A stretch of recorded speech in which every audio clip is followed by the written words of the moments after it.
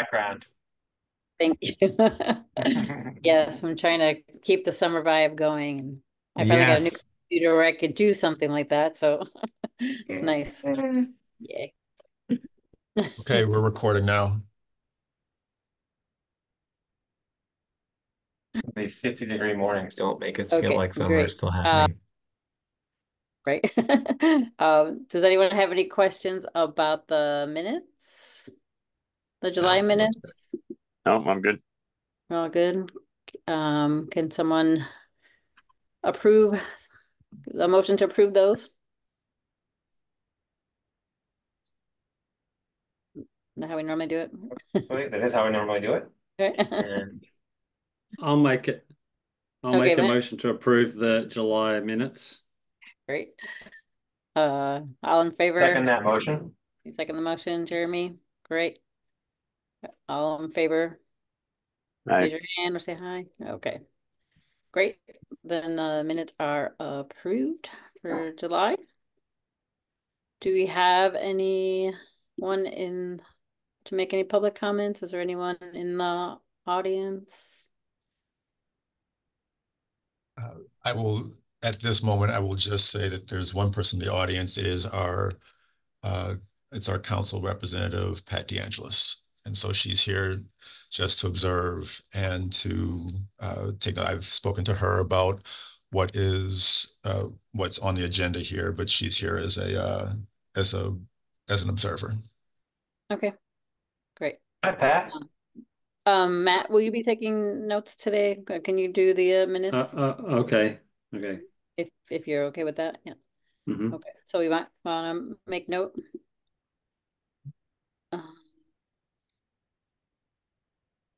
Then we can just jump into our topics. Our first one is our pool data collection. Okay. Um, Amy is, Amy sends her regrets. She Oh, she can't make it. Okay. unable to be here today, but this is just to give an update for you on our, we, we had the question, we were bringing this up, uh, uh, the last couple meetings about uh, preparing ourselves. This is a big part of Amy's presentation. You know, we want to be prepared when the question comes up, why do we need two pools? Do we need two pools? Why do we need two pools? Uh, I and Denise Leckenby, aquatics coordinator, sat down with uh, DPW and finance director, uh, our new finance director, to uh, to to uh, come up with a plan to just basically quantify, get some get some numbers for us in terms of usage for the pools. We're coming towards the end of our pool season. War is going to come offline, I believe, at the end of this week, uh, and Mill then has a week uh, beyond. But we're at towards the end of the summer, we decided we wanted to try and take a look at our aquatics, uh, our aquatics options, and to look at usage, to look at the demographics of the people that are there, to look at some of the uh, uh, basically some of the the, you know, the options that people have inside of our our our invested aquatics, our, our pool operating budget uh, with the two pools and the splash pad.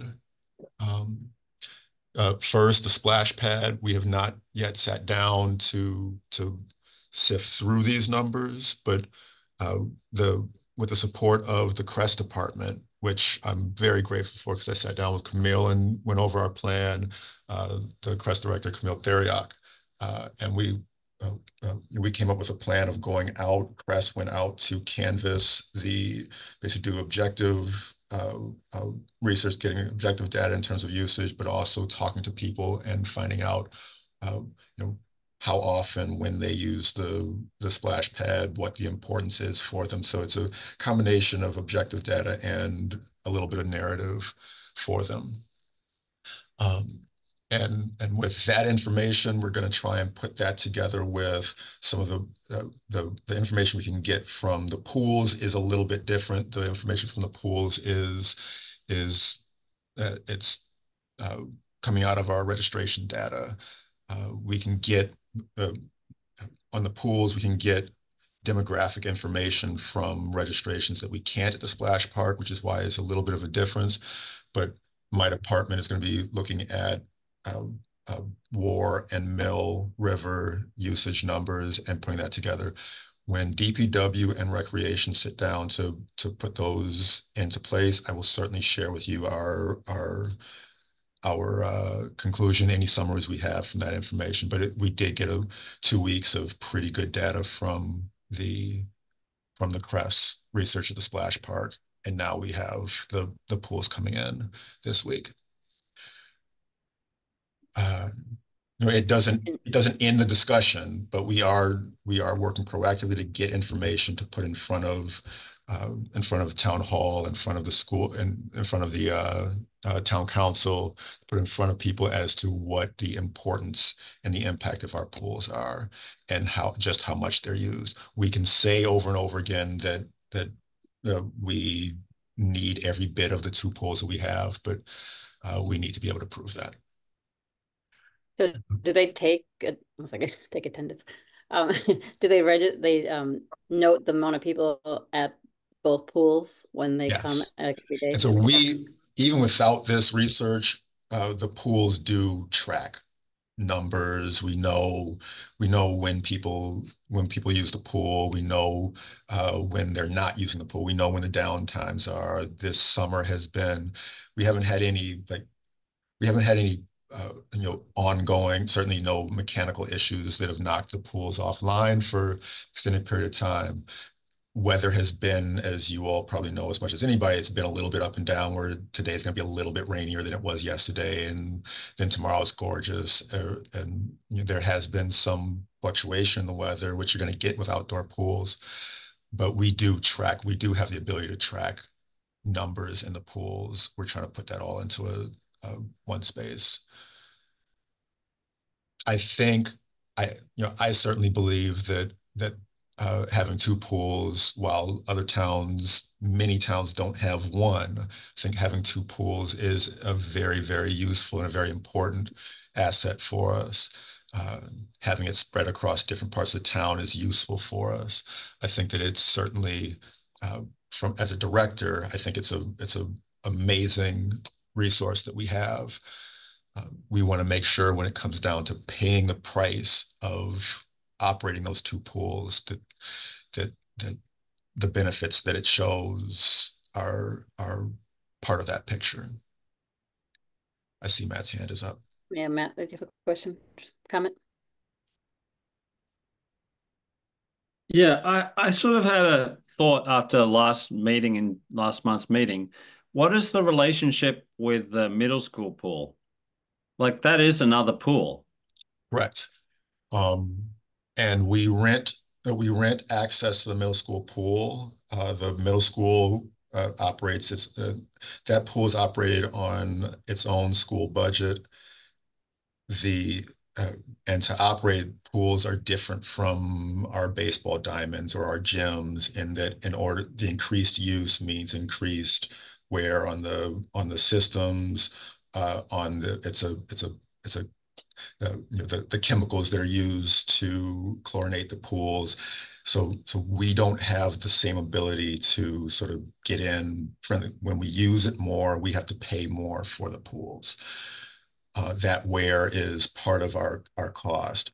Our relationship with the middle school pools, they, we are their, their main client. We're we're the we're the we're the main users of the pool. We have more time scheduled in there than anybody else. And as we've expanded our aquatics program and put more, I think our, the value in our aquatics program has importantly, you know, broadened and allowed us to to really present the town with with strengths in our aquatics program that we didn't have a couple of years ago. As we've So, expanded. so, so what you're saying is you you currently use the pool extensively when the outdoor pools are closed. Yes, when it's not, we use it in the summertime also a little bit. Uh, during the during the summertime, we have access to our own outdoor pools, and we'd rather not pay for access if we don't have to pay for access. I mean, the root of my question is if if War Memorial Pool was to suddenly disappear, could you just use the middle school pool? And could you come to an arrangement with the middle school to make that work? We could we could certainly rent the middle school pool through the summertime if we did not have though if War Memorial was down. When we had the mechanical issue two summers ago with War Memorial, we actually spent a month uh, renting the pool at the middle school. So that's a that's a fair, uh, uh, you know, a recent example of what you're asking about. War Memorial was down for a month, and we rented the pool at the middle school. At you know, it certainly cost us a good amount while we were while we were while we had a staff. But are they are they like separate lifeguards and stuff, or can you could you just can you use your own lifeguards there and own staff there? We could bring our. Uh, we don't have to use the pool. The schools don't have a, a the schools don't have a roster of lifeguards. We have to supply our own Oh, lifeguards. okay. So we would bring our lifeguards over from our pools to staff whatever pool that we we have. Our aquatics program hires our our aquatic staff, uh, cashiers, lifeguards, and swim instructors, and wherever we are, we have to pay that. We have to pay our staff, and we have to pay for the pools unless it's our own. which is again why War and Mill are important for us through the summertime, through our most active time for recreational swimming, for leagues in some cases, but for lessons, for camps, for uh, open swim, for lap swim, all of these things, when we don't have to spend money on on renting other pools, it's financially in our best. Uh, uh, it's it's uh, it's to our benefit to have pools that we control. I see. Is it more expensive? So it's more expensive to operate the middle school pool and the War Memorial pool. Is that what you're saying? it is more it's more expensive for us to rent the middle school pool. We don't op it's the same people that essentially operate the pool. Uh, it's the our town DPW is the one that that uh, supplies. We buy the chemicals. DPW supply. Uh, uh, uh, they they administer the chemicals in the school pools and our town pools, but it's more. It does cost us more money to rent the pools when it's not our own. And so we have relationships with the middle school, we have relationships with Hampshire College. Uh, we're trying to work on other pools where we'll also have some ability to to expand our programming into other space and maybe even find the friendliest cost for ourselves.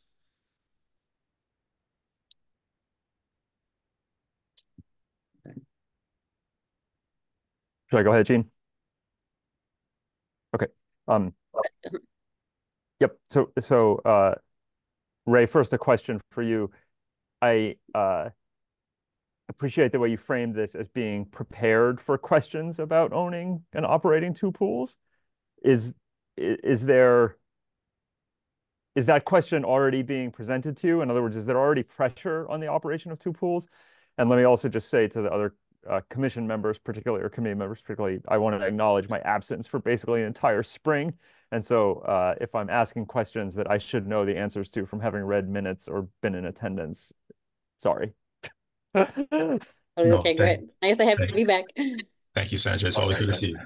Um, uh, is there pressure there? Not not hard pressure right now, but we've already heard the question. We have heard the question through every repair season. I think the um, when the bill comes in and it's as high, we did hear to sort of link into what you did miss in one of our conversations uh, when Amy was presenting about the war memorial piece. When when the conversation came down to the the rising cost of repairs to war memorial, then immediately I think necessarily I think the question goes, okay, so if it costs this much, do we need it?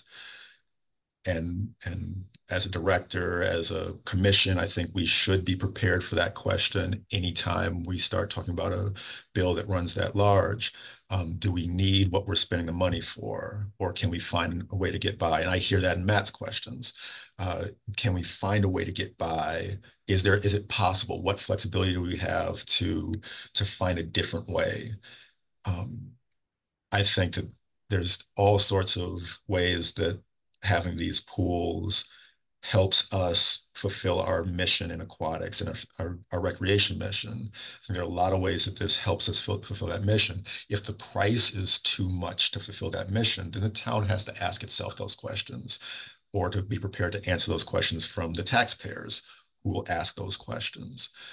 Um, and so I think it's my interest to try and make sure that we have uh, we have preparation, we have we have statistical uh, uh, support for our answers to that question. We have to be flexible enough to look at it and say, well, maybe we should be looking at something different if there's something different that allows us those same options. But but you know, I we have heard the question before okay. in CPAC. We've heard the question in uh, in in community comments. We've heard those. We've heard that question before uh, as the as the price tag goes up. Good, thanks, Ray. I, Gene, I see Chris's hand up. Could I just? It's I was just I'll try to be very concise. Do we know what the comments here? Yep. Do we know what the number was, Ray? Do we know? No. We don't know. What what what to, number? to maintain and keep War Memorial open for the uh, it's it's a matter of that the cost for the renovation project. And remember i don't i don't have it in front of me but uh, right. remember we're looking at millions of dollars and that's one of the reasons why four we, million. Four million was right. was the number that oh i didn't know running like it cost 50000 a, a year to run it between maintenance and chemicals and employees and stuff like that. I didn't know. No, here we're not looking at the at the cost of running the pool. We're looking at the cost that it takes to to uh, upgrade uh, redo rebuild the the bathhouse and to do all the work in the space around in the war recreational area. Yeah, so we're talk we're not talking about the pool, right? In the immortal words of Allen Iverson, we're not talking about the pool. yes. We're talking about we're talking about a large project that actually was conceived of as using the pool as an anchor for a recreational district in the center of Amherst, which is the millions of dollars, right? Yes. Yes. Okay. Yes. So good. I'm glad that I, again, um, my apologies, but I'm glad to understand that clearly. The the, the four the four million the four million was just to renovate the bathhouse. It didn't include the additional upgrades. Okay. Good. Thank Yeah, you. right. Yep. So Um. So just very concisely, then, right? Uh, like I'll just repeat, like the pool is an anchor of this big plan for the area. And so it's actually quite surprising to me to hear uh, that the continued operation of War Memorial might be something that people are questioning. And then uh, it's always funny with town services, the exercise of sort of accounting for its value and contribution to the community, right? And so, I, Ray, I admire and support the effort to collect data in advance of more serious questioning coming up. Um, however, let's be prepared for the fact that the pools are not going to, because I've looked into this, and in my, and should not be expected to quote break even. And therefore, the commission should debate, right, and discuss our position as a, as a commission, right? But in my opinion, the commission should be prepared to assist Ray and the rec department in making the case for town investment in open air swimming, open air summertime swimming, right? Now, others may disagree with that on the commission. That's perfectly fine, right? This is my opinion but the these exercises of trying to account for the sort of balance sheet of town services is uh, is an interesting one, I'll say. thank you, Sanjay. Chris, did you want to add anything? no no i'm just i'm just honestly trying to figure out how to get my hand down Okay. uh, and the on your bottom screen there, you should have a little raise hand and then lower hand. yeah my my daughter went back downstairs so i'm having all kinds of technical stuff So you just you are what you are now. Well, Chris, that's funny because Zoom actually tried to automatically lower my hand, which I think probably says something about who Zoom wants to hear from. AI AI is getting clever, Sanjay. you just keep talking, Chris. It'll eventually There say, you go. "I'll put your hand down." For there you go. Yeah. Uh, those are really good comments, Sanjay. I think you're you're right. I mean, we do need to support whatever the the department, So, you know, wants to go I with, I- think- I I think it's think really I important that we we support them. I think, sorry, Gene, I, I think that I can probably segue into the next item here, which Becky Demling is here with us. Uh, I think I can segue into the next item pretty quickly and easily just by summarizing that outdoor pool thing is saying that we are trying to in recreation and beyond, but particularly in recreation, we're trying to add value to our offerings. We're trying to find a way to extend our value into, into areas. It's a service that we provide to try with the pools, it's a very specific service, lessons, recreational swimming. Uh, we try, we're trying to add value in as many ways as we can, affordably and responsibly, of course. And and then we get into these situations now where the where where we have to find out just how much that value is valued how much how much that value is is you know echoed back for us. If we believe that we're doing a service if we believe that we are extending and doing a service here in a way that amherst does or should value then then we're doing our job and we can put that out there and let let the taxpayers and and our supervisors we can let them sort of guide us in that but we're trying to add as much value as we can given the resources that were provided.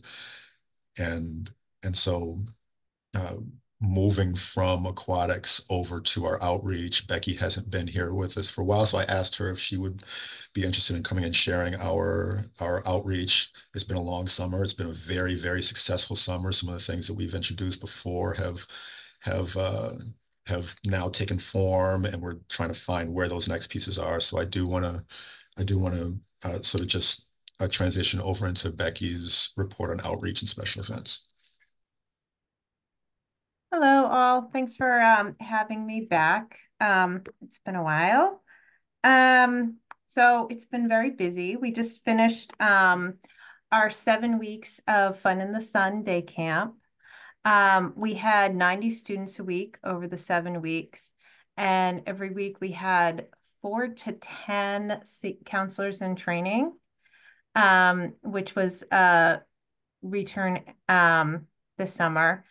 Um, we had a lot of fun.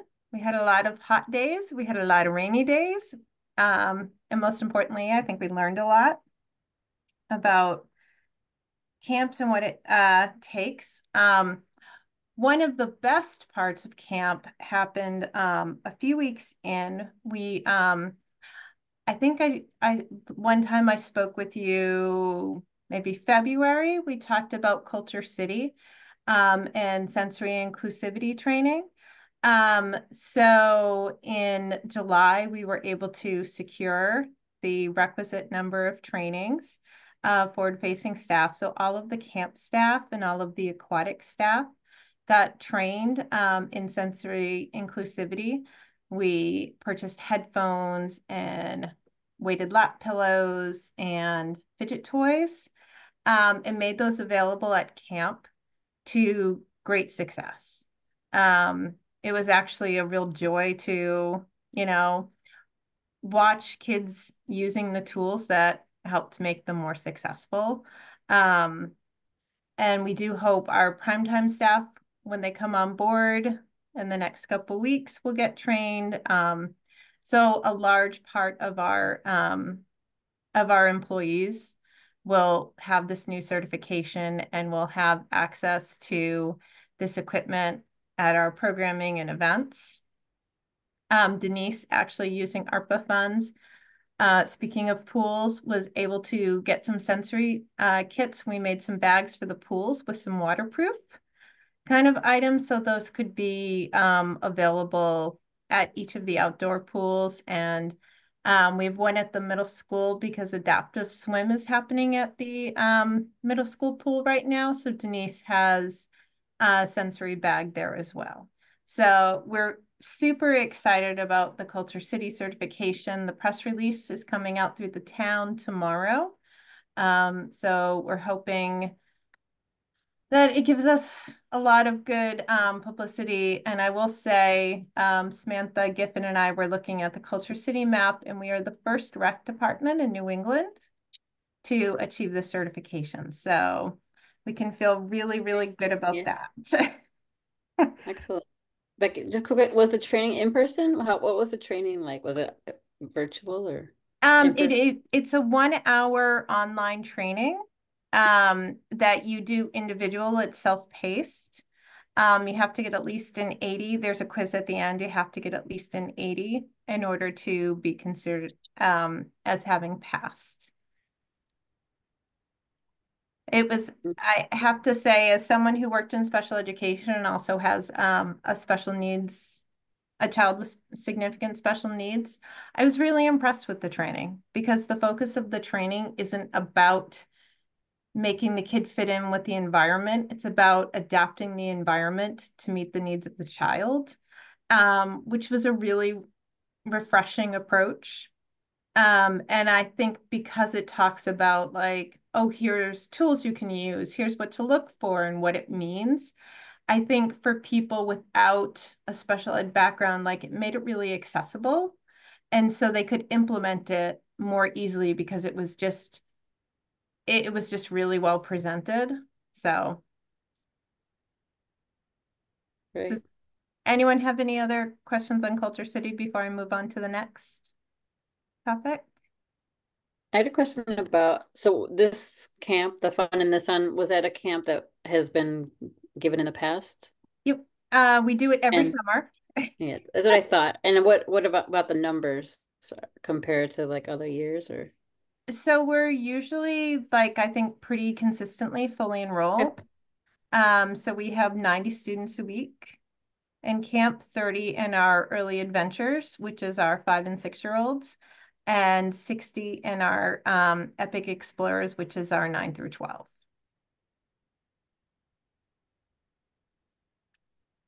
Any other questions before I move on? Yeah, Becky, if I could. Okay. Yeah, Sanjay. Um, how were numbers for the sports-oriented camps this summer? so I only run the Fun in the Sun camps. I don't Oh, run okay. the sports camps, so I couldn't speak to that. Okay. I can, Um, I can tell you that our numbers were down a little bit for the, for the sports camps this summer. Our- Some of our sports clinics, uh, you know, did see some, some clinic competition in the area that kids were, were choosing. Uh, the clinics were pretty well reviewed, but, but we did, our, our sports clinics numbers were a little bit down this year. Do you, what were some of the competitors that you have in mind, if you don't mind my asking? I don't know. Okay. Don't know specifically where, we know a couple of camps that, that some of the kids were going to. Um, but I, I mean, there, there are plenty of options that people are, are looking at right now.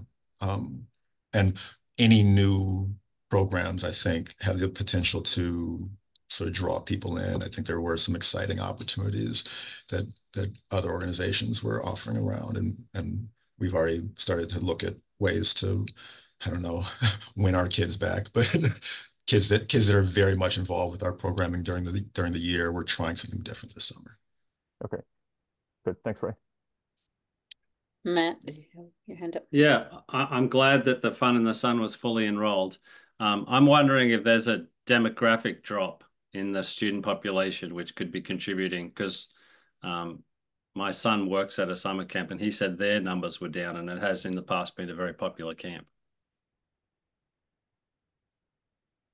So I think there are a lot of factors. Um, one thing that our program does um, benefit from is that we accept um, childcare vouchers from the state. We also have an arrangement with UMass, and they um, they subsidize childcare for their um, their uh, the children of students at UMass. Um, so we're definitely one of the most affordable camps in the area. And I think that protects us from some of the demographic bumps. Most of our weeks, I think other than Fourth of July week, we had um, a wait list. So. Chris? Is there room to grow or no? I mean, I don't get me wrong. I, I had a CIT there, so I know the facilities are were tight. Facilities are tight. Um, your CIT was amazing. Oh, I will say unequivocally. Um, so we are we staff to a ratio. Like Yep. we we staff based on how many kids we have. Um, we have 60 kids in one cafeteria. that's a lot. A lot of- Um, Rainy day, I don't envy uh, any of you for that. Yeah, we're and we're extremely fortunate that we get to use um the bulk of the downstairs of the middle school. So we have access to the gym, we have access to the auditorium, um, the band and orchestra rooms. But um, I don't think it would be feasible to have more campers. I think that's kind of the magic number with what we can staff and what we can reasonably fill in the cafeteria. And I totally forgot to mention another draw of our camp is that because we're with the town and we have a good relationship with the school district, they provide free breakfast and lunch to all of our campers. Right. Um, so that's something that we're able to offer that most other camps are not. Um, and ARPS food service was absolutely amazing. They gave us weeks worth of menus and um, we're really fantastically uh, working with our kids, especially when they were like, I didn't order lunch, but I really want that pizza.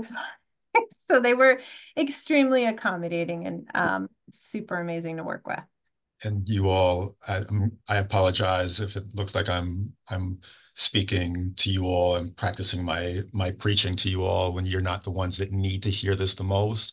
But another major thing that our camps offer is swim lessons uh, for all the kids that come Right. through. Yep. And so one of the things that makes it a really, really inviting, really, really popular camp is that swim lessons are wrapped into the admission into the camp. And so to have a full summer of access to War Memorial, uh, you see where I'm going with this. Sorry, Becky. And we also do go back for afternoon swim, like open swim. Most of the campers choose to go back, so the kids are going um to the pool twice a day. I actually had a mom come in on Friday, which was the last day of camp, and she was just like, so my kid actually learned to swim this summer, like not doggy paddle, but actual swim with like rotary breathing and everything. And she was so excited. And um, yeah, we are we benefit so much from having War Memorial there. Uh, Sanjay, did you have a question? You're muted. Go ahead, you're muted. Yes, I am. Okay, sorry, a bit of a diversion, uh, and it can just be a quick yes or no answer. Is the middle school pool used in physical education at the middle school? Do students swim in gym class? Don't believe so. I don't know that for sure, so don't quote me on that, but I don't believe so.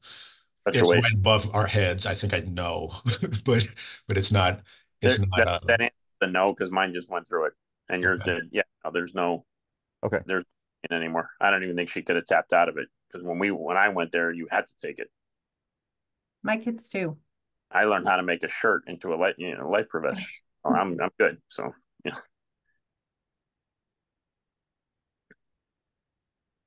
Um, so one of the things that um we were able to do going back to pools is um this summer um I did a lot of work on pool passes for partner agencies. Um, so for the Survival Center and the ARPS Family Center, we give um free uh family pool passes and individual pool passes and really like documenting like how many we have, trying to um like really track the numbers of how many people are taking advantage, not only taking a pool pass home with them, but then redeeming it at the pool so that we'll have better data on that, like what the pool pass to redemption ratio is. Um, and also this summer we started kind of library card pool passes for the senior center, um, the Amherst Housing Authority, and um, Wayfinders, which runs Butternut Farms and Olympia Oaks. Um, so residents, because those are all um, subsidized housing, were able to like they could go to their um, office and borrow the pass for a day and then have free access to the pool. And we're also tracking that. So we are aware of how many individuals take advantage of those programs. Nice. Um, just another way our pools are so instrumental. Um, another thing I wanted to bring up, one of our big programs from last year, which I know I met with you about, was um, morning movement and mentoring, a program we run at the middle school for seventh and eighth graders. Um, we're well back getting ready for the fall. Um, this past spring, uh, this past year, school year was um, such a success. Um, so we're looking to um, make some adjustments and continue to improve enrollment. So we ended the school year with 64 students um, enrolled. Uh, for level three students, students that kind of need wraparound services, um, we paid for van transportation. We hired school vans to pay for this. Um, obviously using ARPA funds to pay for it, not our um, actual budget. And so this year, what we're trying to do is really secure outside funding for this program so it can live past um, ARPA. So we're actively working um, to collect the data we need to secure outside grants or funding for this program. Um, we've just settled our schedule where the MOU, the draft MOU was submitted to town hall this afternoon. Um, and we've already got 28 kids enrolled in the program um, for this fall.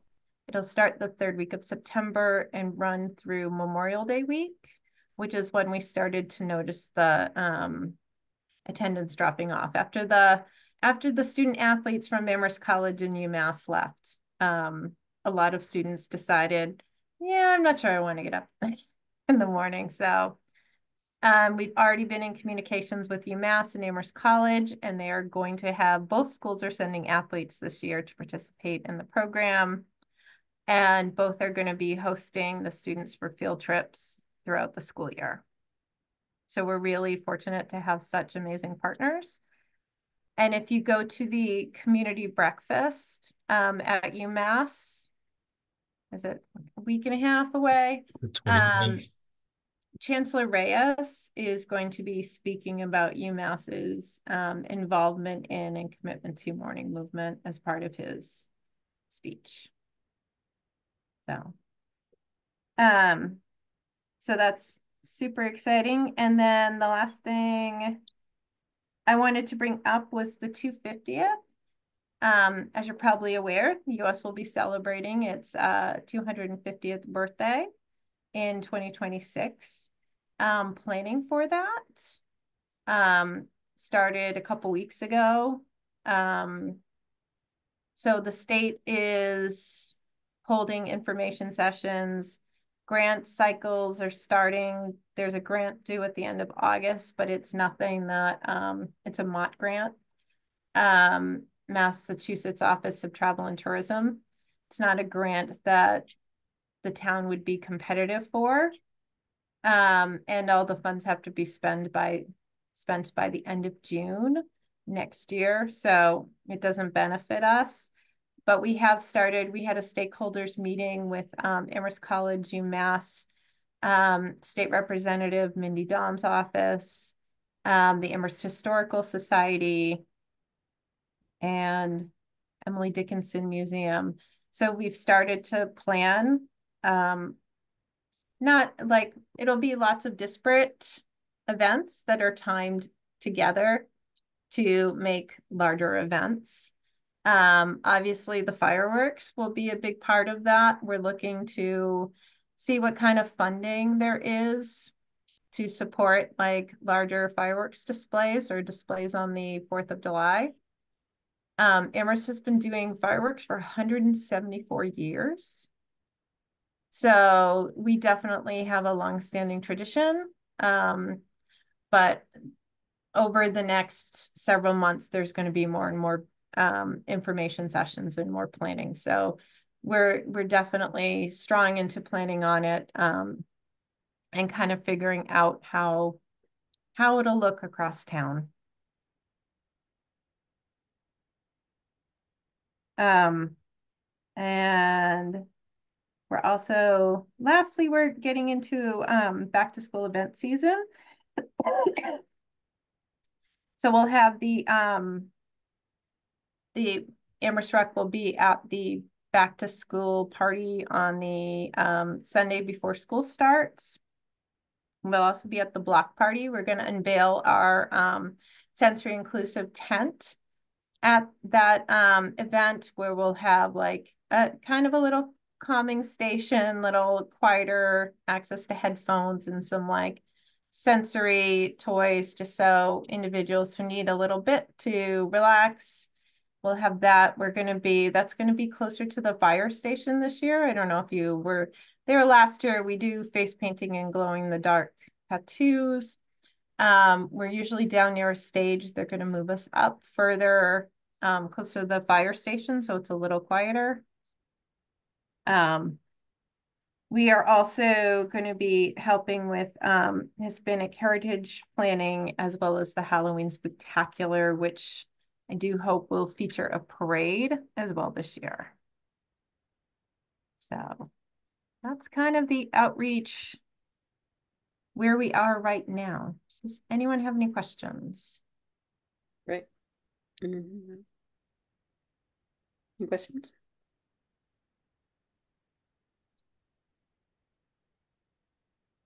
I won't give any questions. Good job. Thank you. Yeah, I know, it's amazing all the stuff that you, that you do. Yeah, I was just saying, whoa, that's a lot. I know. And I- I will confess, I'm really excited camp is over, just so that I Oh, can gotcha. like You're- catch up on everything else. Yeah. I don't know if you noticed, but Becky does have a, this is the first day of, after camp glow, so we're. Right. It's more the lack of fatigue of not walking over twenty thousand steps at work. Oh, yes. So, um, no, like, we had a great camp staff. We had a great admin team. Of course, there were bumps along the way, but there always are when you, um, have a large camp. And I have to say, like, I was really happy. We had a lot of students at camp who, um, get IEP services.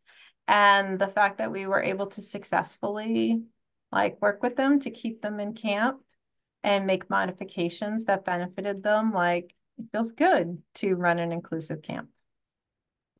So It's so exciting to have heard about the cultural training before. Now, it like it really happened. Like, yay. yeah, no, I mean, KultureCity, this is what schools do anyway with our kids. Like this is what our occupational therapists do, what good teachers have. They have they make accommodations for students who can get sensory overwhelmed. When you have as many kids in a cafeteria as we have, we are going to have a number of kids that get overwhelmed. And having the tools and the training to have staff respond to them in ways that is supportive and helpful instead of like, why are you freaking out? Like, it feels good to know that we can do even small things to make a kids camp experience that much more positive. And so I'm- I'm Congrats. Thank you. probably, I'm probably uh, leading Becky to a little storytelling here, but uh, the ARPA grant that, that I think Becky's done an amazing job of, of uh, budgeting and prioritizing and trying to really find a way to make that money mean something for our department. Uh, It, it, you know, we can talk about it all we want to about how important it is to have all these different resources and these different options for the purpose of equity, for the purpose of of uh, you know support for students that maybe talk about MMMP and RISE, talk about all these different ways that that ARPA money can benefit us. But how beautiful is it to look at at people using those resources? How uh, you know how uh, we- can talk about success all we want to, but when we come to the end of the summer and we all of a sudden see kids that are that are taking those resources and making it normal and their own thing and this is this is this is what I've always wanted and they they're finding comfort they're finding safety they're finding security they're finding rhythm in those things that we've put money into uh, however much money we make on the other side it's just has been a really nice sort of end of the summer as a lot of the, the purchasing, a lot of the shopping that we've done has has uh, uh, you know all of a sudden is shining in the in the kids' faces, in the community's faces. Uh, uh, you know, it it is amazing. For I, I don't know if anybody here has uh, know, we didn't talk about the the the adaptive swimming piece right now, but it's really is just regardless of how much money we're making, we we got some. It it is. Uh, it, it's not about as Sanjay said. It's not about trying to find out how much money it's making for us. It is an effect of those programs. It's an effect of of that money spent and and extending services and allowing people to be involved in ways that they haven't been involved with us before. And so, um, you know, I, I think it's been in in at least a, in, in at least a strong sense uh, a success for outreach and ARPA this year. I agree. And if I wish everyone could see adaptive swim lessons I'll tell you like of everything that makes you feel good. Um, so I super applaud Denise um, for working to bring those about. Um, so I, I'm pretty open that I have um, a son who is autistic and cognitively impaired. My kid could never do swim lessons because the way swim lessons are organized, they don't work for him. And when I talked to Denise about that and like the statistics around like if you're on the spectrum, you are 160 times more likely to drown in your lifetime because you're attracted to water and don't know how to safely engage with it. Um, the joy of watching kids who've never been able to go into a pool safely, like actually learning how to swim. Like we have a student um, who's taking adaptive swim lessons who has cerebral palsy and has significant um, mobility challenges as a result. And so one of the pieces of equipment we were able to purchase with ARPA funding is this, it's essentially a life jacket floaty for um, like a wide brim for um, students who have cerebral palsy. It's specifically designed for kids like him.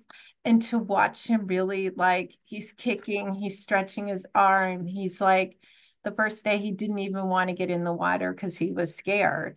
And then to see him like I was I, I confess, I was in the water with him last week, like a week and a half ago, just because um, I've had a long relationship with this family through um, my former job. And he was in the water for over 45 minutes, just like motoring around, having like the best time. And it's like those are the moments where you look at like what the benefit ARPA can bring to this community. These kids that are taking swim lessons with us have never taken anything with rec before because we didn't offer anything that met their needs. And now we have this whole beautiful program that's like allowing access to so many kids. Um, and it's it makes me feel good, even though my kid is probably too old for them and no longer needs them. Um, I'm so happy that like it's probably one of the greatest things we're doing at rec right now, in my opinion. That's awesome. Thanks for sharing that story. You're welcome. Um, does anyone have any more questions for me before I let you move on with your agenda? Mm-hmm. So the ARPA grants um, Ray, is that part of what we've already talked about, or is there more that's on the agenda? I can certainly go over ARPA. Um, I did not bring my spreadsheets home, but I have a fairly good memory of what we um, spent money on. Is that uh, what you wanted to talk about a little bit more, Ray, about and, those? Uh, we don't have to. I guess that uh, I would. I would love to. I would I guess I can leave it up to the chair here as to whether or not you want to get a get a sense for what we spent the money on and and uh, you know sort of where the the money left over and what what money we're working with right now. Um, uh, Becky is yeah. certainly prepared. Becky's certainly prepared to share.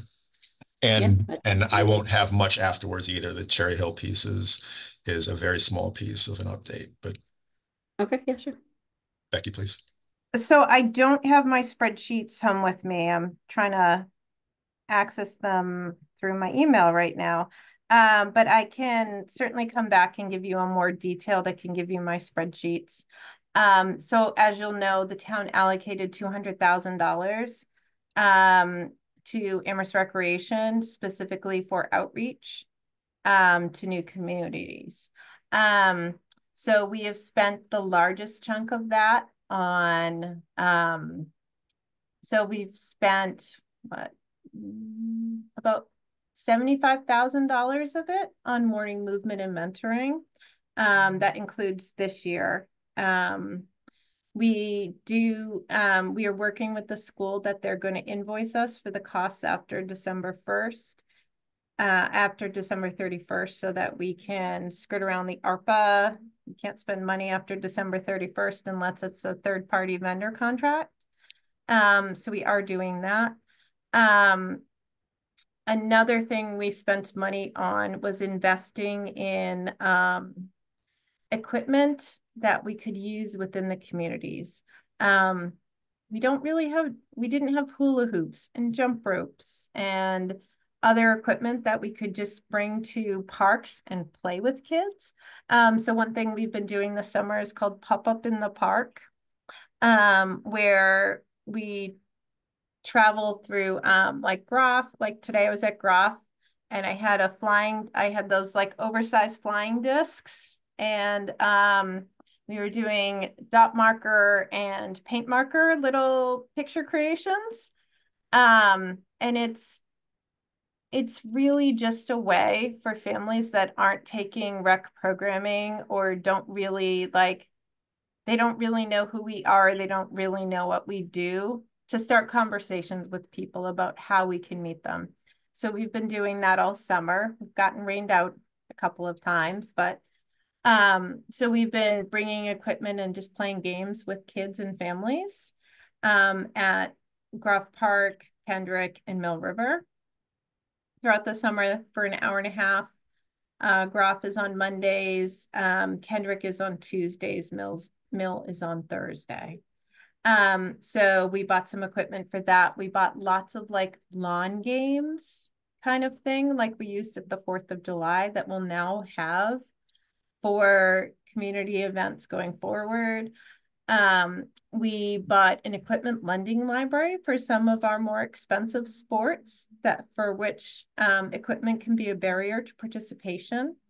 Um, so we bought equipment for like lacrosse and um, field hockey, things like that, so that so players who could sign up who didn't have the equipment or they wanted to try but didn't want to invest in the equipment that we could help them out um, and let them borrow equipment for the season and then return it. So that worked really well both for lacrosse and tennis. Um, and we'll the rest of the sports are this fall, so we'll see how that goes with our leagues. Um, we did spend um, approximately, all right, so this is going to sound like a really big number, but I'll break it down for you. We did spend about 45,000 on um, aquatics, and that's equipment for um, the um, for adaptive swim. We bought ADA compliant stairs for both pools um, so that individuals who can't access the ladder or don't feel comfortable um, can do that. We also bought um, the chair lifts at the pool, like the ADA lift to the pool has been broken for a long time. So we also replaced those so that we could actually help people get into the water more easily. Um, so we spent money on that. We've spent money on Allie? Allie, yep, I've had a, um, I was able to get the town to let me hire someone for uh, eight weeks this summer, um, who helped me with the Fourth of July, um, and also has been really running the pop-ups in the park most of the time because I've been at camp for the last seven weeks. So um, she's been great helping out with that. She's also done a great job. She went through the basement at Cherry Hill. She went through the storage at Rec. Um, and she's conducted an inventory. So we know what we have and we know where it's stored, um, which is pretty exciting for me as a type A person. Um, I like having a spreadsheet where I know where things are. Um, what else? Oh, KultureCity was paid for using ARPA funds. Um, we have a three-year contract with KultureCity, which is about $1,750. And then the town gave us about a thousand dollars more to buy equipment um, to utilize for the program and replenish it because we know some things will not get returned or things break, things like that. So the town did give us ARPA money for that as well. Um, we did pay for one Cherry Hill repair with um, the ARPA funding and there's one thing I'm forgetting that I can see the tab in my mind, but I can't read it in my mind. Um,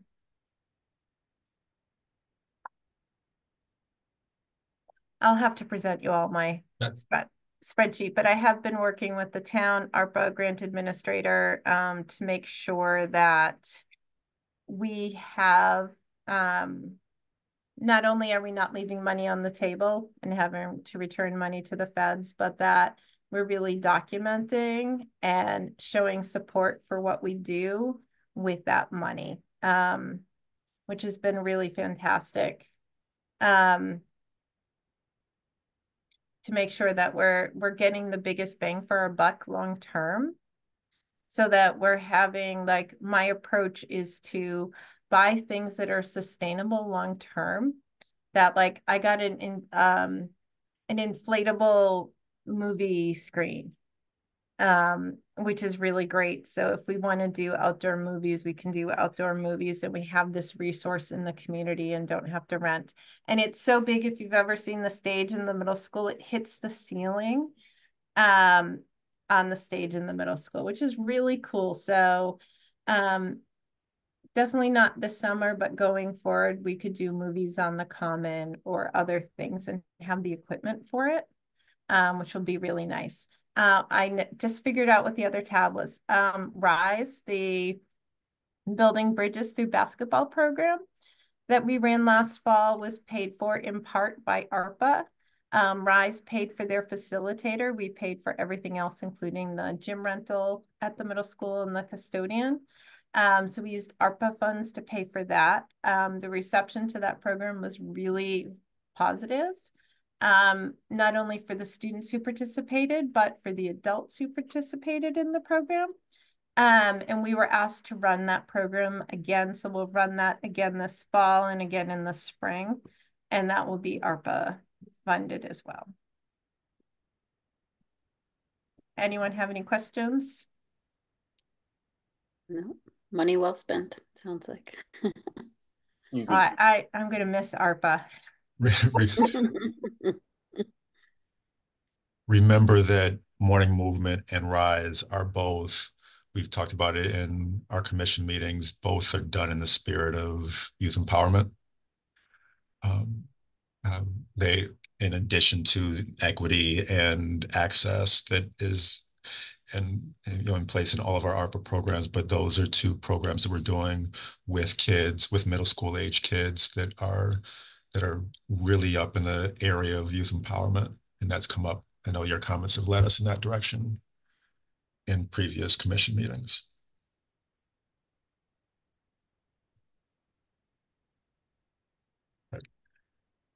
Uh, thank you, Becky.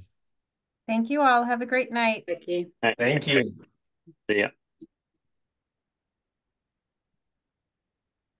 Um, okay, mm -hmm. so uh, Want to continue with Cherry Hill? Yeah. I can say that I don't intend to take a long time here because we haven't, we certainly haven't started it. I want to just say that after last month, uh, after last month's meeting, I certainly got a lot of conversation. Like as soon as you mentioned Cherry Hill, and as soon as Cherry Hill hits the paper, and I know some of you all were quoted in the paper. uh, so thanks, Ray. Congratulations, Chris. Chris is a celebrity in his own home now. um, the uh, I I know that Cherry there's there's a lot of I think latent passion in this community for against Cherry Hill. I think there's when you mention Cherry Hill, I think there's there's some energy behind that. And I want to make it very clear. Number one, I apologize. Let me let me make it very clear what what I should have said if I didn't say it clearly before. Um, and I've tried to coach myself not to make this mistake. Uh, uh, this is uh, when I said that the the course was was uh, was in the hole was financially uh, that that our budget was was I forgot what the the quote was, but when I said that the budget was was impossible to manage at the state it was, whatever it was that I said there, fifty thousand dollars, fifty four thousand dollars in the hole. It doesn't mean that we were that that we spent more than we than we raised in revenue. I don't. I want to make sure that you all hear me say that we made more money in revenue than we spent at Cherry Hill.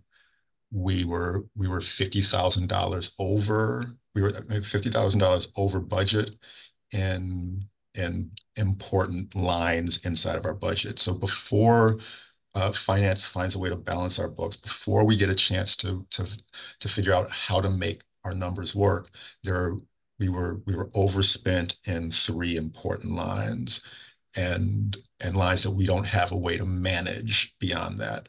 Uh, you know how we how we balance that is is uh, you know it's the magic of finance. But but for me, uh, again, that fifty thousand dollars, fifty-four thousand dollars that we were that we were overspent in these particular lines are a concern for me. I can keep on doing that, and we can keep on making magic happen. We can keep on finding out a way to to uh, to rectify our budget if we need to.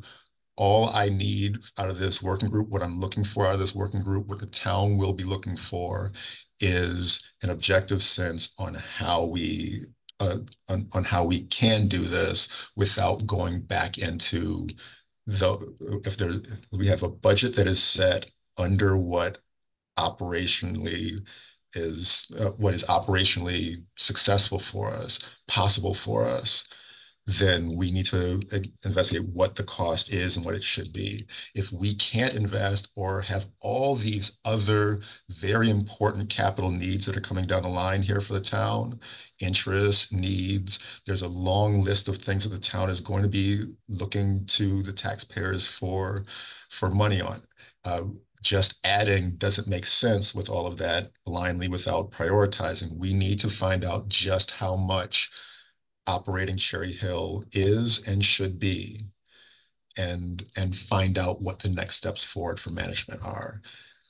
The, the, the working group that I see hand up, uh, the working group that we put together, the task I've already, I've spent the last couple weeks sort of fielding people who have interest in addition to our two commission members. There are people who've reached out and said, I'd really be interested in serving on that commission. The one thing that I say constantly is we need people with an open mind.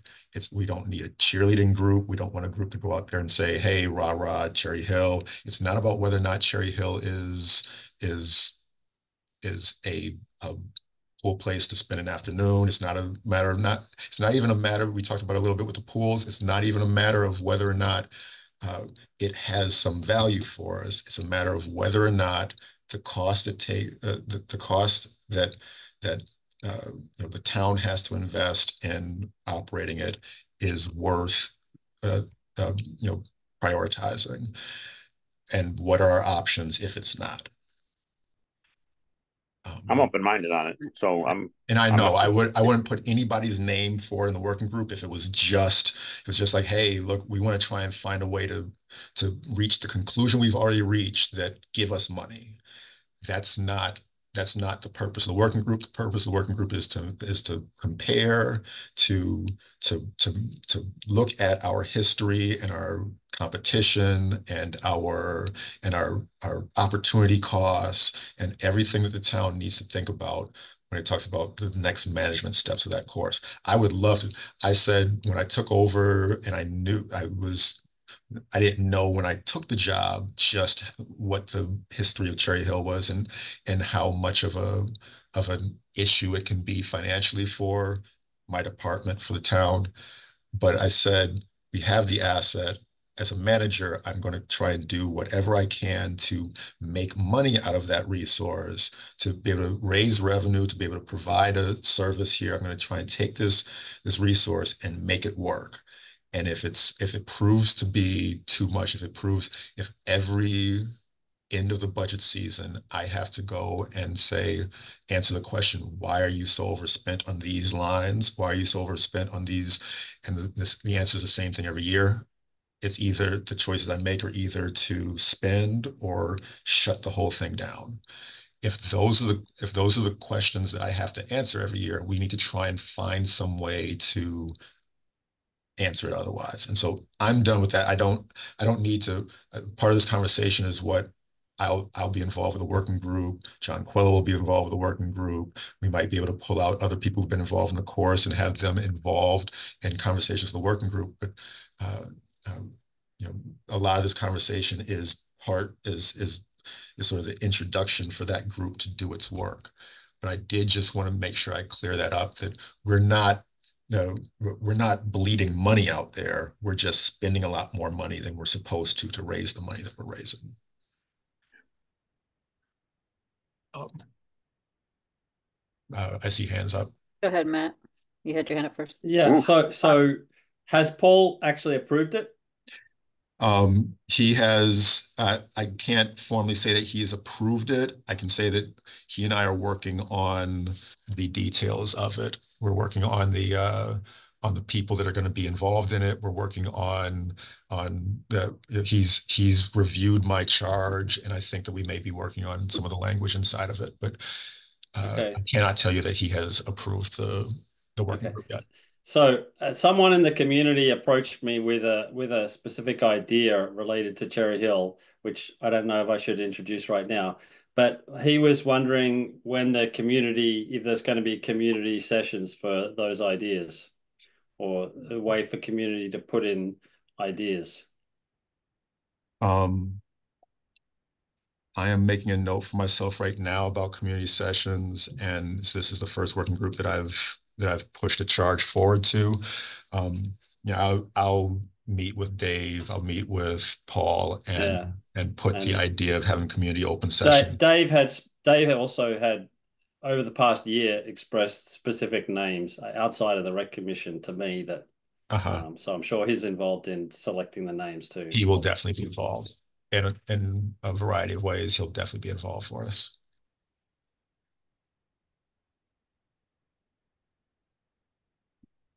Chris, you want to go ahead?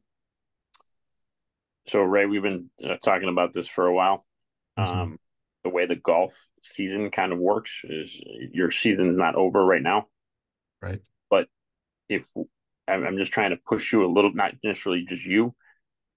I get my first golf bill in January 7th of next year.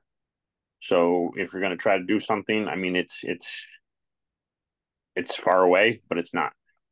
You know, yeah, we can't change budgets and ideas and stuff like that in July of next year. It's at that year, at that point there, another year. I would never say is lost, but it yeah. takes the steam out of. I mean, you if you know if you want me to, you call the Zomac and whatever, and we can uh-huh. also push to try to get this thing going. I mean, you know, if you told him we, we're going to do baseball fundraising in July, he'd be like, "No, we got to do it in January, February because you know that's when you know the season starts."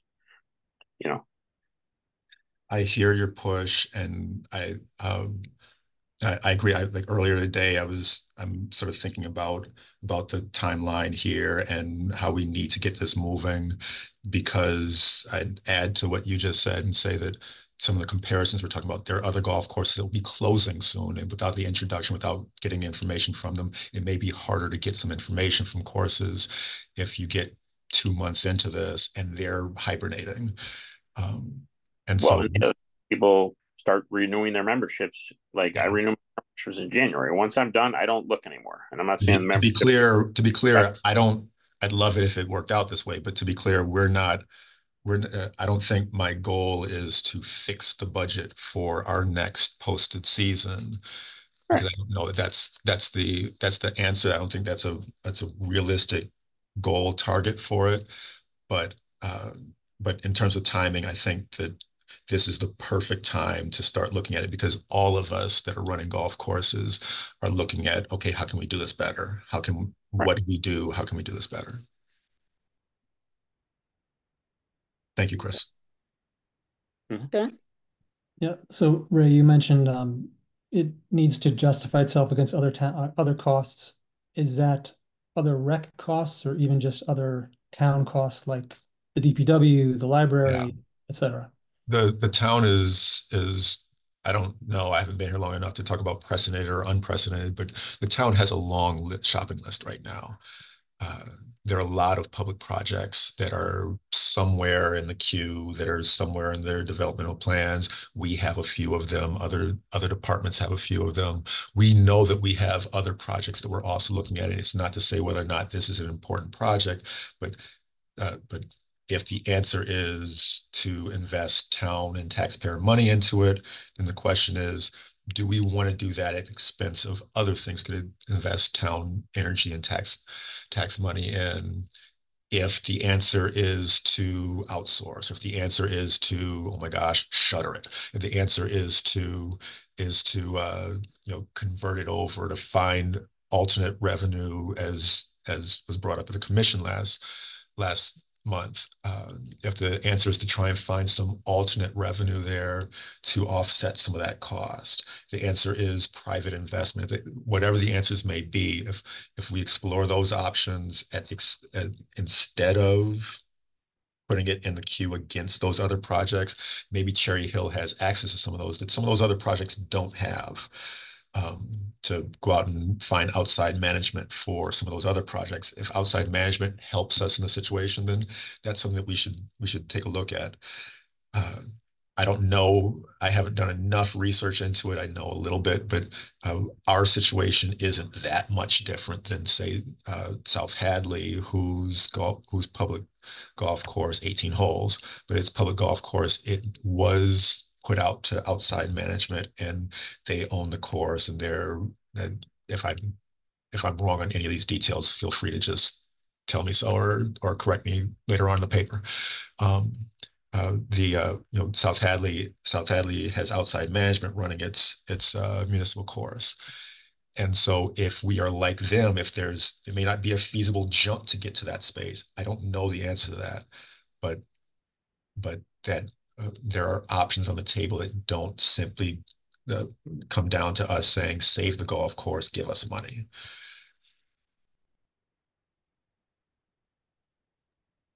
Matt, do you want to add something? Yeah, so so I'm just trying to understand what you're saying the financial issue is. So it sounds like the from what you said at the start, I'm not sure if this was correct, that you bring in more revenue than than than the, the operating costs we bring in yes we we we do have more more revenue than expense right now. We we raise more money than we have expenses on charity so the, the the the problem is that you feel like there's going to be some some capital expenses required and you don't think that they're going to get passed by the town capital budget. That is that's a part of it but also inside of our operating budget we are spending more we're spending a lot more in our operating budget than we are. Uh, the, the, but if it's if it's if it's revenue, I mean, if it's if it's profitable, then then what's the problem? I don't understand. Um, it's not profitable enough. Like why, why sound, does it have to be that? That doesn't sound like a rhetorical question. Um, um, the uh, I agree with you. I mean, I if uh, if it's not profitable, uh, um, it's not. I don't know how to how to answer this question without potentially. I, I don't. Uh, um, uh, without potentially misspeaking, and I'm going to be very careful not to misspeak this week for the second for the second month in a row. But um, uh, one of the one of the weirdest things for us is that know, we are making more money than we're spending, but the way our budget is set up is that we are not so, uh, you know, I, I, I believe that if you spend more money and make more money, then you should be okay, but that's not the way our budget works. Um, okay.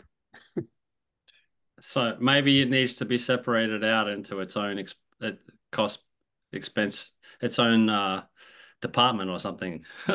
There are Uh, or sub department, Yeah. its own its own account. Right. Good, Sergeant. Mhm. I don't know the correct accounting Yeah. term that you use in the town, but Yeah. I'm Um, learning. I for context, I, I think that there was a significant period of years in which the course was not profitable. right. And there is no doubt that that that period of time is influencing current discussions. The period of time during which the course has been profitable, I actually don't really like using that word with respect to town operations. The period of time during which revenues have exceeded expenditures is short, I think two or three years. Now, is that the new normal? Maybe, maybe not. I think that's something for the Well, we did have a golf course closed in town. True. We did. Yep. Um, so I think, Matt, like I'm sympathetic to the phrasing of your question, right? But I think the pressure on Cherry Hill is a res is not responding necessarily to the past year or two, during which expenditures have exceeded budgeted expenditures, but still have been lower than revenue, right? The the pressure is long-standing. I don't think that's a surprise to anyone. Um, I have one very technical question for you, Ray, which is, does the revenue stay within the rec department, or does it go to the town general fund to General maybe fund. or maybe not be reallocated to the rec department? Because that speaks to the question of quote Exactly. profitability or not profitability. It's Do you- general fund. Yeah, so that's the problem, right? Or a problem. I'm using the word problem. Um, that's yeah, the they're not they're not that- they're not lined up against exactly. each other. That's the accounting detail That's, and because so Matt, that's, I think that's the answer that I'm trying to say. Exactly. That the Exactly. revenue is not matched up against the expenses there for us. Uh, And, and I, I, I don't want to misspeak by, by sharing with you where I think we are with that, but I don't, I think the answer is that because it is general fund and the expenses are not matched against our revenues, uh, our revenues, we want to raise as much money as we want to, but that's independent of our expenses. They're not, it's not a single business that's operating for itself.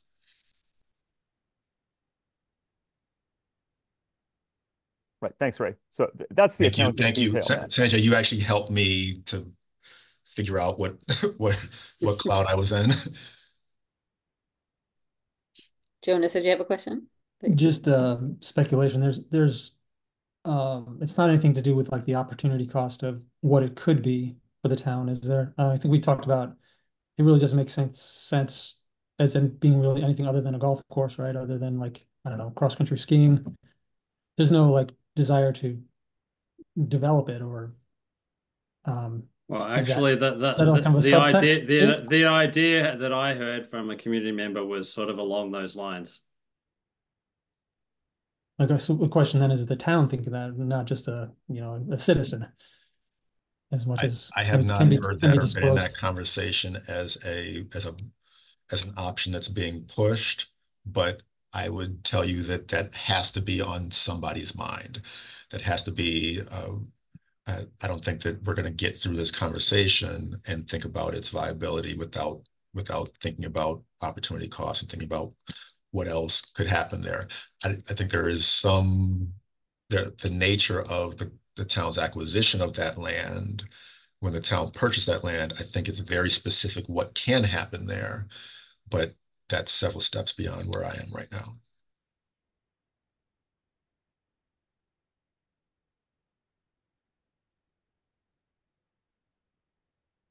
Okay. Well, keep us posted and updated. I will, I mean, it's, uh, it will be something, there is, as you know, most, if not all of you all know, after that last meeting, that there was a little bit of attention and energy into, hey, recreation's talking golf course again. And so that, that certainly, that certainly could increase, the, the attention could increase.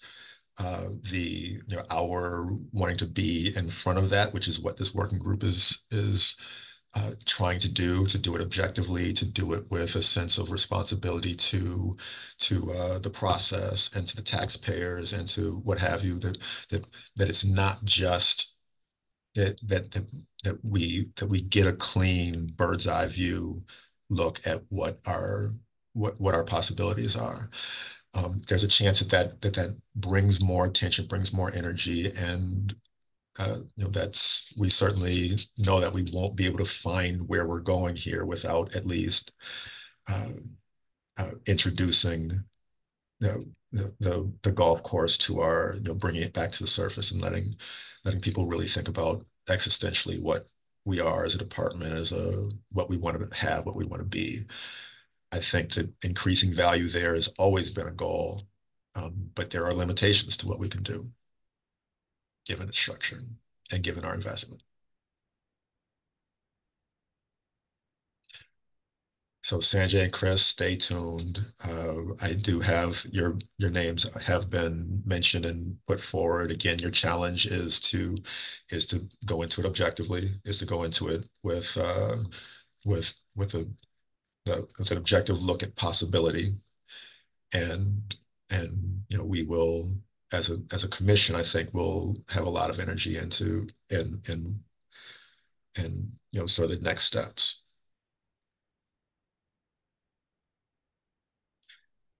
I have nothing for OSRP. I was gonna ask. No, okay. No updates. Nothing. Okay. Um, any other updates? I, I have a I have an item that I probably should have submitted it earlier, which is um I'm I'm the past year I was the Recreation Commission representative on the CPA committee, and each year the Recreation Committee needs to send a representative to the CPA committee and has to vote again each year. I'm willing to take that again this year, um, but we do have to uh, hold a vote. Thank you. I, I apologize. I forgot to put that on the on the uh, on the agenda here. Um, and Hmm. so that so that Matt doesn't have to toot his own horn. I think Matt has served uh, terrifically for the last couple of years. I am I would support uh, him back in that position, but I I do. This is not my vote. Your commission, your your uh, uh, it's it's your responsibility to make sure you have somebody in that CPAC, CPAC seat that um, that makes sense for you. Is I a vote vote in order for this meeting, or do we need? Uh, it would be better if we did it soon. It would be great if we could Is the- do it is the now. calendar. We have a, Yeah, we have a ready. quorum. Right, we have a quorum to vote, yes. Yes. We do. Okay. I think Um, Andy would I also love if Matt was there too. Yeah, Do we just have, it's just one representative, correct? One representative. Yeah. Andy was a representative for from the planning commission when he was on the planning commission, Oh, right. or I think it was the planning commission. But So he, his, yeah, the, his that was few that was before the the past year. He was not on the CPA committee. His first few months, we kind of cheated and had two two voices on the commission because he was technically No, still we did have we did have a year where where both Andy and I were on the CPA commission. Uh-huh. But the, the past year, it was just me, and it was a different representative from this um, planning commission. So I propose that we take a vote um, to have Matt as our representative for the CPAC committee. Is there a motion All for? those, in- is there a motion? Yeah, Yeah. I vote Aye. yes. I vote yes. let's motion first, I believe, right? Go Matt. Seconded the motion. Okay. So who, who second the motion? I will second the Jeremy. motion. Jonas, Jonas, okay. Um, all those in favor? Aye. Aye. Aye, aye. So unanimously.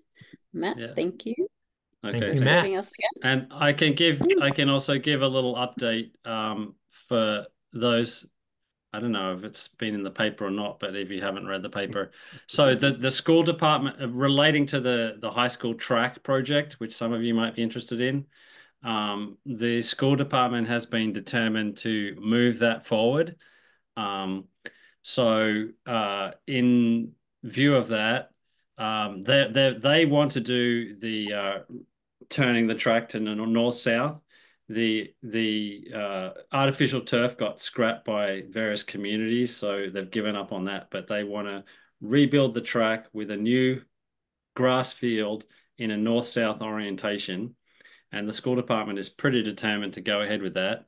Um, and to help with that, the CPA committee has revised its earlier uh, from a few years ago grant to remove the restrictions, and then recently also approved another grant um, to to to to really try and get that across the line. And then the the school department is going to reapproach the other towns in the regional school district to try and get some CPA money out of them. So I don't know if you have any questions about that. Any I think combined I read something like timeline? one point two Sorry. million, Um, with like eight respect to hundred what? thousand more out of us and like four hundred thousand out of the surrounding towns. Something I think I read.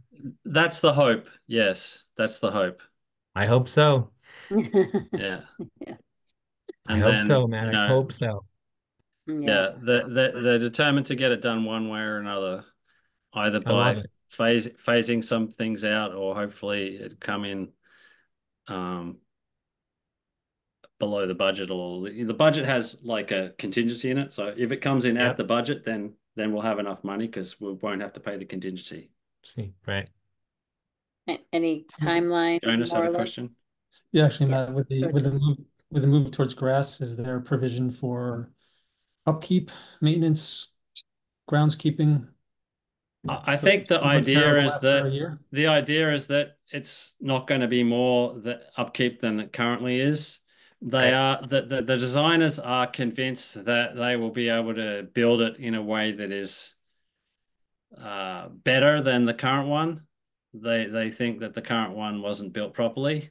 Okay, Um, better drainage, better. yeah, better drainage, better sub sub drainage. And then in terms of timing, so um, the the school department's plan is to do permitting um, in this fall, and I think they were planning to go out to bid in the winter and to get it constructed next year. I think that was the plan. Thank you. Okay. Well, overdue for sure. Yeah. Oh, yeah, that'd be great. Okay, um, any new business that has, hasn't been brought up? Anybody? Uh, we do not have any report from the chairs, any report from any other staff members? Ray, anything else? Uh, next meeting. Okay, next. Thanks, meeting Pat, if she's still around. She is. I can bring her out and have her say hi to you all if, if I can. We postpone. love Pat. You wanna put Um, that on the record? tentatively, our next meeting is uh September 9th. You will confirm? And again, I threw that just in case it works. I hope that it works. We can Back on September 9th. Okay, Excellent. all right.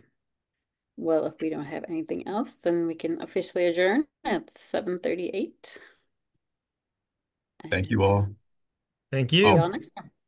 What, Ray, do you have something else? I was just gonna say you should probably motion to adjourn. Oh, motion to adjourn. I'll second that. Thank you. Bye. All right. Excellent. Okay, thank you all. Thank you, everybody. Okay. Have a great night. Being adjourned. All right. Yeah.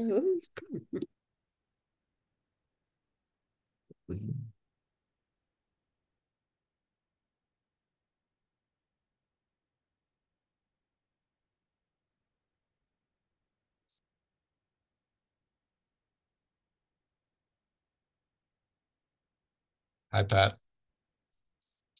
Can you hear me? I can. One second. Let me stop recording so you don't swear and get in trouble. You have such